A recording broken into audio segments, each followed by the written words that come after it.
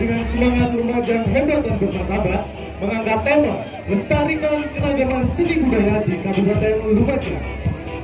Kegiatan ini bertujuan untuk menyatukan keragaman Kabupaten Lumajang.